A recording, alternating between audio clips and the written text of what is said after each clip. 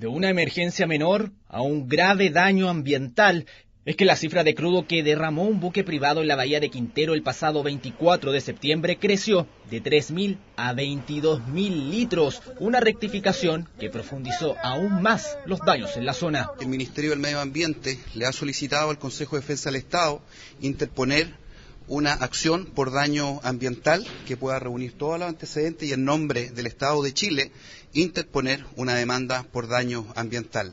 Ya son 4 mil millones de pesos los destinados por la Empresa Nacional de Petróleo para labores de limpieza y mitigación de crudo, lo que, de paso, dejó sin sustento a los pescadores, los mismos que este viernes acordaron con la ENAP trabajar en conjunto a cambio de un millón y medio de pesos pagados en dos cuotas. Yo creo que es posible que hayan llegado a acuerdo con algún grupo de dirigentes, entre comillas, pero el sector pesquero artesanal en general está en contra de, de poder llegar a acuerdo hasta cuando no se el verdadero daño. Más allá de estas medidas, la preocupación de quienes viven del mar, así como de las autoridades, tiene que ver con las responsabilidades de los autores de una emergencia que para muchos pescadores no tiene precedentes. Aquí hay seguros comprometidos y también hay responsables. Lo que tienen que determinar las autoridades es el alcance de esas responsabilidades y están los tribunales de justicia para que los que tengan esa responsabilidad paguen. Estamos implementando medidas en el ámbito de lo social y también de lo legal para apoyar a los pescadores de la zona. Aunque las autoridades son enfáticas en señalar que la cifra oficial de crudo derramado la entregará el fiscal marítimo,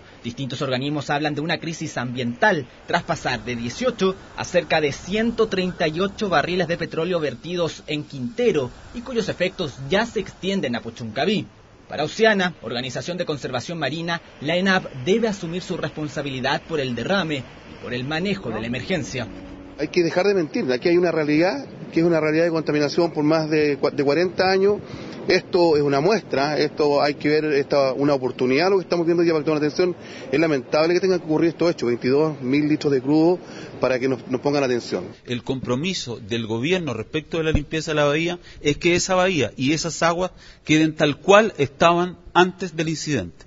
Por ahora la investigación continúa, también siguen las labores de limpieza negro vuelco la emergencia de Quintero, cuyas playas podrían volver a la normalidad recién de aquí a cinco años más. Boris Román, CNN Chile.